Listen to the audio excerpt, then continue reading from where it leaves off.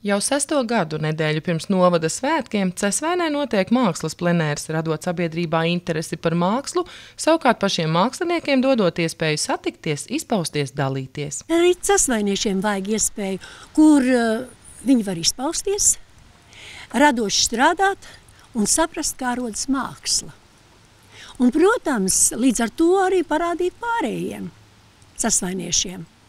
Jo cēsvaini pat par sevi ir ļoti pateicīga vieta – gleznošanai, māksliniekiem un mākslinieku piesaistīšanai. Tā ir atkal satikšanās ar jau zināmiem, pazīstamiem un nezināmiem māksliniekiem.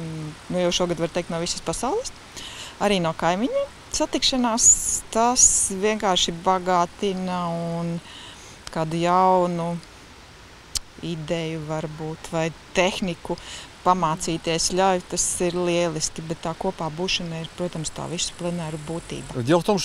Plenāri iepazīstina māksliniekus savā starpā, dot iespēju dalīties pieredzē, plānos, tas satuvina un iegrimsta mākslā vēl vairāk, līdz tekus tam tu apceļo pasauli to iepazīstot. Dzīvot Krievijā un pirmo reizi viesoties Latvijā, tieši plenāri ietveros, tas taču ir lieliski. Jums ir skaista zeme, skaista daba, tas man pirmo reizi un ceru būt vēl. Šogad plenērā piedalās vairāk kā 30 mākslinieki no Latvijas, Lietuvas, Dānijas, Krievijas un Baltkrievijas, katrs ar savu pieredzi, profesionālo līmeni un mākslas redzējumu.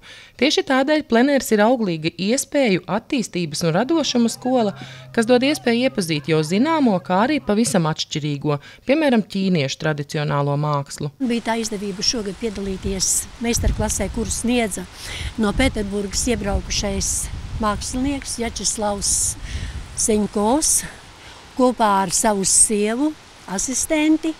Un viņi mūs šogad iepazīstināja ar īpašiem paņēmieniem, kā Ķīnā raksta hieroglifus, kā ir jātur rota, kā ir krāsas, ko viņi izmanto, kādus papīrus, ļauj visiem arī to pamēģināt. Ķīniešu glezniecība man ir īpaši to. Man ļoti patīk vispār strādāt ar akvareli, un, un tas ir kaut kas līdzīgs. Bet šī tehnika ir īpaši grūta, un viņa tiešām ir jāmācās pacietīgi, visi ar laikam to nevar, bet es, es vispār to gribētu. Un liels prieks, ka šeit bija no Pēterburgas mākslinieki, kuri dalījās ar savu pieredzi un tā, pamācīja. Pirmo reizi gleznoju uz rīsa papīra. Tas bija lieliski. Это для меня был очень Man šī интересно. ir interesanta pieredze - iepazīstināt latviešu māksliniekus ar Ķīnas tradicionālo mākslu. Tā nav parasta glezniecība, ne tehniskā ziņā, jo tiek izmantotas speciālas krāsas un speciāls rīsa papīrs, ne filozofiskā ziņā. Tā ir māksla, kuras vēsture mērām tūkstošgadēs.